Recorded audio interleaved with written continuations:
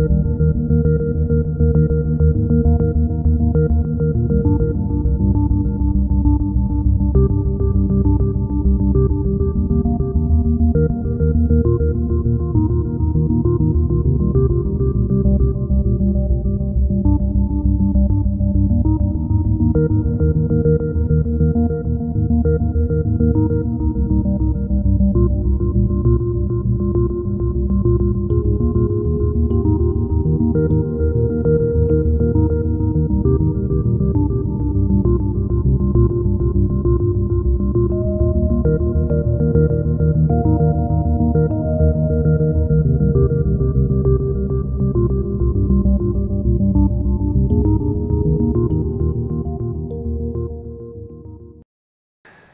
Hello, my name is James Bryan, and we are here in Cairns, far north Queensland, Australia.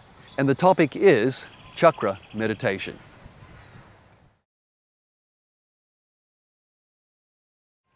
I am the program director of the Knoff Yoga School, and I'm also one of the master teachers. I travel nationally and internationally running courses, workshops, and teacher training. In conjunction with my life partner, Nicky Knoff, I have opened five yoga studios in both Australia and America.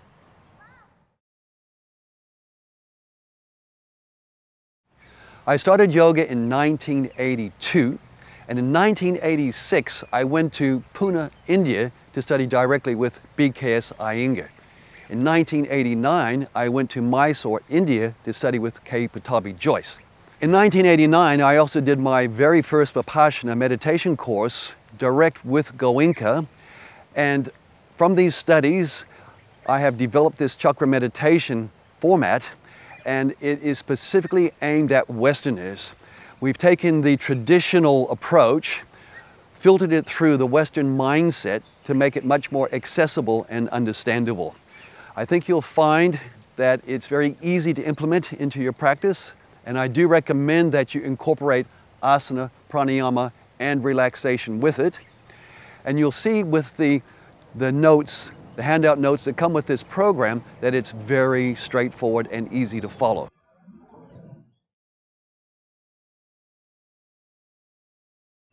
I started yoga in 1982 and uh, in those days meditation was talked about but it wasn't actually included in the classes. I had to investigate for myself. I've looked into this very deeply. I've tried many different types of meditation and I found that this chakra meditation with its clear technique works extremely well for a lot of people.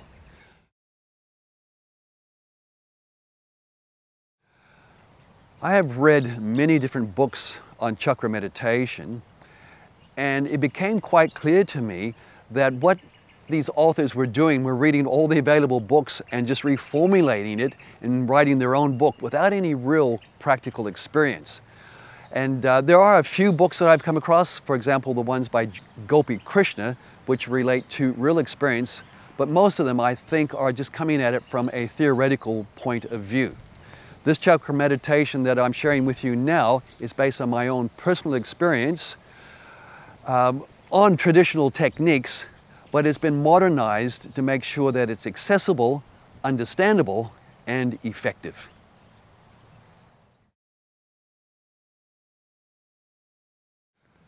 This chakra meditation program is designed for yoga students who have had more than two years experience.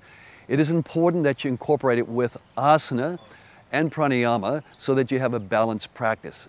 It is a strong technique and if you don't balance it with these other aspects of the yoga, you can become unhinged and crazy. And this chakra meditation program is designed for students who are beyond beginner's level. You want to make sure that you have a strong practice, a solid practice in asana and pranayama, and then add this component to it. A lot of people approach meditation haphazardly. This is a very specific technical program. It's easy to implement, but it should be implement, implemented properly. And when you do that, you'll find that it'll elevate your practice to a new level.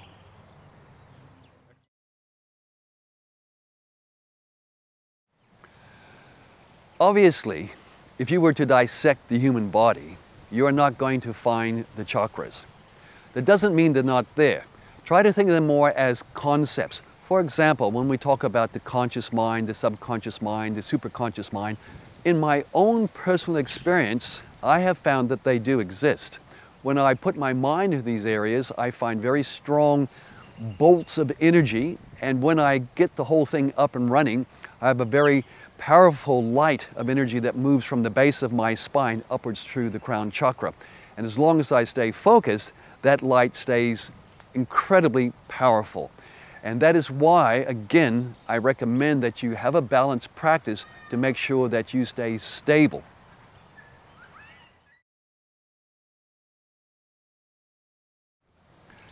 There are many different types of meditation. There are many different approaches to meditation.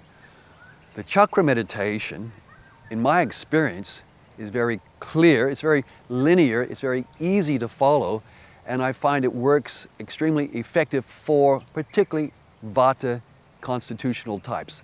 You might have heard of Ayurveda, it's the sister science of yoga, and there's Vata, Pitta, and Kapha as the individual constitutional types. People who have very active minds will find the chakra meditation extremely effective in getting them to slow down, to getting the change taking place in the brainwave patterns so that they feel centered, calm, and peaceful, and are then able to move out into life and be more effective.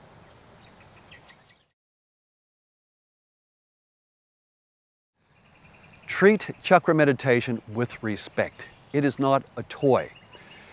It can be unsettling, it can knock your nervous system around if you don't work it in conjunction with asana and pranayama to make sure that you have a balanced program.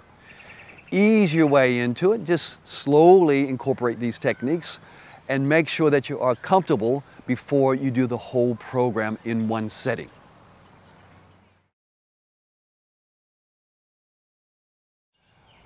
Regarding the practice of chakra meditation, I recommend that you ease your way into it. Start off by adding just a few of the techniques, and when you're comfortable, add a few more. My personal practice is asana, relaxation, pranayama, and meditation, and I do recommend practicing in that order. So the asana practice is going to open you up physically, breath work will get the energy flowing, and then the chakra meditation will allow you to tap into that energy and direct it through your body. Once you've become familiar with the techniques, then I recommend doing the whole program three times per week. When you are solid with this three times per week, then it is time to step it up to six times per week. Always have one day as a rest.